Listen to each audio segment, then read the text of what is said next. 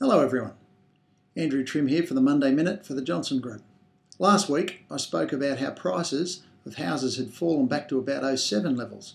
Now, that was good for the buyers. Now I want to talk about why that 10% fall may be good for sellers.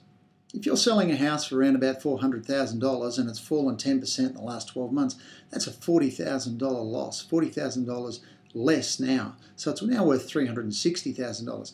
Now the good news is though, if you're selling to upgrade and you're going to buy a $600,000 house, so originally you were selling for 400 and buying for 600, and the $600,000 house will also fall 10% because the market moves together. That house now is worth $540,000 or a 60% a $60,000 fall. So your changeover was originally $200,000, $400,000 sell, $600,000 buy that $200,000 is now a changeover of $180,000. So you're actually $20,000 better off.